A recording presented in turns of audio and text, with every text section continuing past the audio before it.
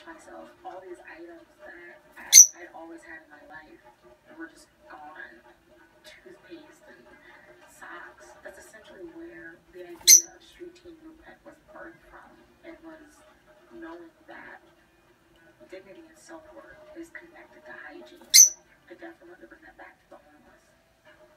Well, please welcome the creator of the street team movement, Brianna Day. Well, uh,